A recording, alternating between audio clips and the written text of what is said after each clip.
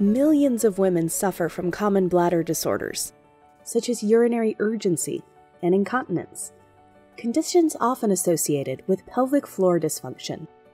And whether your symptoms include leaking urine after a sneeze or during a workout, or just constantly having to go to the bathroom, every woman knows that these conditions affect both your sense of dignity and quality of life.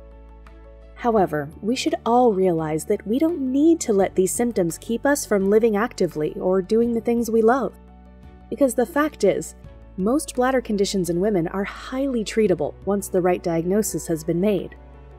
And given that you're watching this video, you're likely one of the fortunate women who has already decided to stop suffering in silence.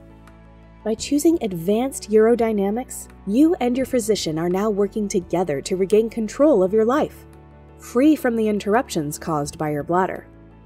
As for the procedure itself, Advanced Urodynamics tests how well your bladder and urethra hold and release urine.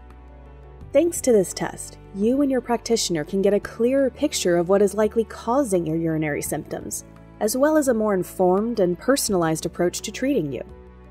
Urodynamics is a safe and proven procedure for women.